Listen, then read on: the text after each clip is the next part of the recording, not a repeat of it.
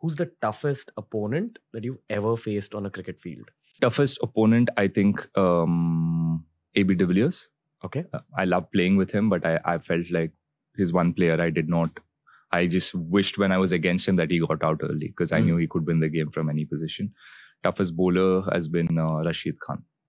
Okay. Yeah. Okay. He's had my number a few times. So